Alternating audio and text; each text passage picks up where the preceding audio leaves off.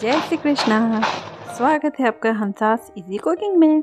आज चलिए, आज के आपके लिए मैं एक झटपट वाला मिक्सर आई हूँ। दिवाली की भागम भाग में आप इसे इजीली बना सकते हैं। बहुत ही जल्दी बनकर रेडी हो जाता है, सिर्फ़ पाँच मिनट में। और खाने में सुपर टेस्टी लगता है। चलिए, बनाते हैं। इसके लिए मैंने यहाँ सौ ग्राम के करीब जो कॉर्न पापड़ आते हैं ना, या फिर आप इसके कॉर्न पोहा भी बोल सकते हैं, वो ले लेंगे। आपको इजीली किसी भी किराने की शॉप पे मिल जाएगा। ये करीबन एक कप के बराबर होंगे। अब यहाँ पाँच से छः लहसुन ले लेंगे, बिना छिले। इस तरह से उसे कूच लेना है, हल्का सा। ज़्यादा नहीं कूचना है, बस हल्का सा ही। इसे हम साइड में रख लेंगे। अब हम एक कढ़ाई में तेल गरम करेंगे। चेक कर लेना, जब तेल अच्छे से गर्म हो जाए, जैसे जब हम पापड़ फ्राई करते हैं ना, बिल्कुल वैसा ही ऑयल होना चाहिए।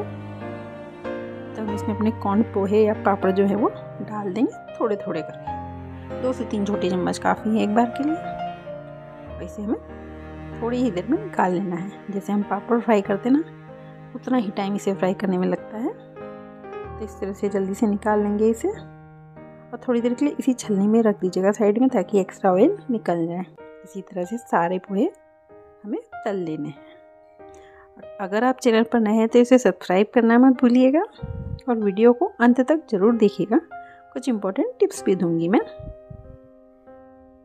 अब इसे हम एक बर्तन में या फिर जिसमें भी आप इसे निकाल रहे हो, उसमें टिश्यू पेपर बिछा लेना नीचे, ताकि एक्स्ट्रा ऑयल निकल जाए।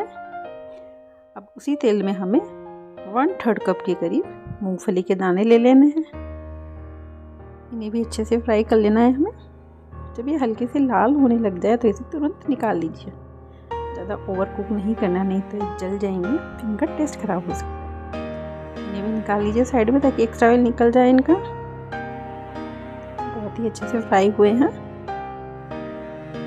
जब इनका एक्स्ट्रा ऑयल निकल जाए तो इसे अपने मिक्सचर में डाल देंगे। अब यहाँ पंद्रह बीस करीब पत्ते धोकर सुखा लिए थे। इन्हें भी फ्राई कर लेंगे।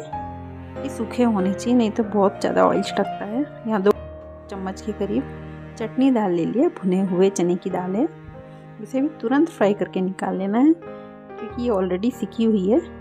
बस इसे हमें थोड़ा सा क्रिस्पी करना था। तो इसे पाँच सेकंड के अंदर फ्राई करके निकाल लीजिए। अब हम लहसुन डाल देंगे।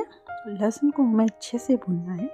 ये गीला नहीं होना चाहिए अच्छा क्रिस्पी होना चाहिए। गीला हो तो क्या है कि अपना मिक्सचर ख़राब हो सकता है इससे। तो आप इसे अच्छे से फ्राई करिएगा। अब इन सब चीज़ों को हम अपने मिक्सचर में डाल लेते हैं। देखिए कितना कलरफुल लग रहा है ना हमारा नमकीन। बहुत ही जल्दी बनकर रेडी हो जाता है। सिर्फ़ पाँच मिनट। यहाँ आधी चम्मच हम काला नमक डाल देंगे। आधी चम्मच लाल मिर्च अगर मिर्ची कम खाते हैं तो इसकी क्वांटिटी कम कर सकते हैं। एक चम्मच चाट मसाला थोड़ा सा नमक, स्वाद अनुसार। थोड़ा नमक कम ही डालना है क्योंकि काला नमक डाला था हमने। अब इन्हें हमें अच्छे से मिक्स कर लिया तो इसकी आवाज़ आ रही होगी कितने क्रिस्पी हुए हैं। इस तरह से हमें अच्छे से मिक्स कर लेना है। वाले की भागम भाग में ये इजी वाले नमकीन बनाइए और इन्जॉय करिए। झटपट बन जाएँगे और सुपर टेस्टी लगेंगे। और आप इन्हें महीने भर तक स्टोर करके रख सकते हैं। और खाने वालों को भी बहुत पसंद आएँगे। बनाइए इन्जॉय करिए। और वीडियो को लाइक और शेयर करना मत भूलिएगा। देखिए, लग रहे हैं ना टेम्पटिंग से? बहुत ही टेस्टी है। आप इसे प्याज, टमाटर काट के भी खा सकते हैं। इन्जॉय करिए। बाय